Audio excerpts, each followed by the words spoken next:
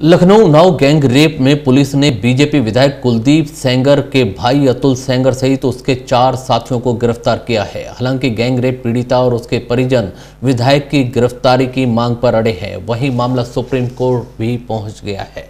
BJP विधायक कुलदीप सेंगर और उसके भाई पर गैंग रेप के आरोप लगने के बाद पीड़ित लड़की के पिता की हिरासत में मौत होने के बाद पुलिस ने कार्यवाही करते हुए अतुल सेंगर के साथ अन्य तीन लोगों को भी इस मामले में गिरफ़्तार किया है।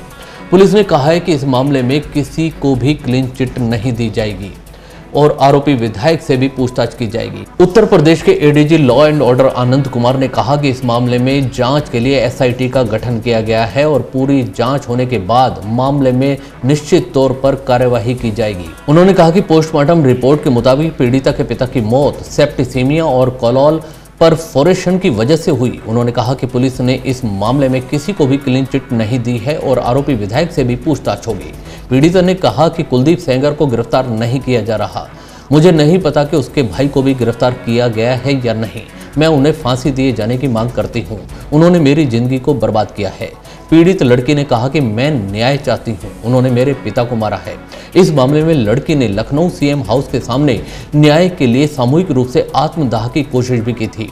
उनका विधायक और उनके गुर्गों पर आरोप था कि 3 अप्रैल को उन्होंने पीड़िता के पिता से मारपीट की और उन्हें झूठे मामले में फंसाकर जेल भेज दिया गया।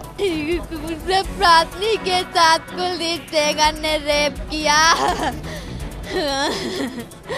प्रार्थनी के साथ रेप किया। जब प्रार्थनी ने इसका विरोध किया तो हमको धमकी देने लगे कुलदीप सेंगर ने। कहने लगे, अगर अपने घर में किसी को बताओगी तो तुम्हारे पूरे परिवार वालों को जान से मरवा के फेंकवा दूँगा। इसके भागीदार सची है निधि और हरिपाल सिंह है। बहुत सारी रजिस्ट्री की है, बहुत सारा सब कुछ एक साल से कर रहे हैं। पुलिस कोई रिपोर्ट एफ़ आई आर नहीं लिखती थी, हमको कह देती थी। कोई एफ़ आई आर नहीं लिखती थी और हमके कह देती थी कहती तुम्हारी एफ़ आई आर नहीं लिखी जाएगी। अच्छा उस... बहुत मारा हमारे पापा को कुलदीप सेगर ने मरवाया है मरवाते मरवाते कुलदीप सेगर अपने अतुल भाई से मरवा डाला असला और बंदूकों से बहुत मरवा तो भाई ने मारा मरवाया कुलदीप ने? पुलिस मारते हैं।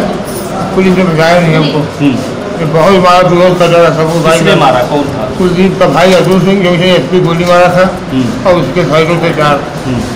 मारा। अच्छा। रखल से कुंजे से बंदूक हम्म।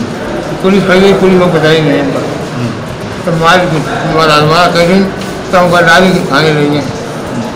क्या वजह रही? किस वजह से मारा? क्या विवाद है तुम्हारा?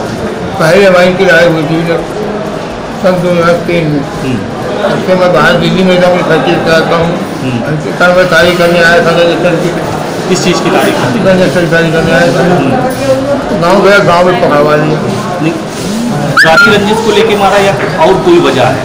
कोई नहीं मारा। या कोई मुकदमे की वजह है जिसको वापस लेने का दबाव बनता हाँ? हाँ क्या मेरे पे केस लगवाया था भी मेरे भाई पे मेरे पे। तो हम सात केस वापस लो तो केस वापस हमने जो है हाई कोर्ट से स्टे लगवा करवाया स्टे। किसी युवती का भी मामला है? हाँ। हाँ क्या मामला है? मेरी लड़की भी बता दिया था लोगों ने मिलकर हम्म। कुछ गलत हुआ था आपकी लड़की के हाँ आठ दिन गैबरा था उसको मिली। उसने बताया कि ये कुलदीप सिंह उठवाया था हमको। हम्म। वही मुकदमा तो नहीं वापस लेना चाह रहे हाँ हाँ वही मुकदमा कहीं वापस करो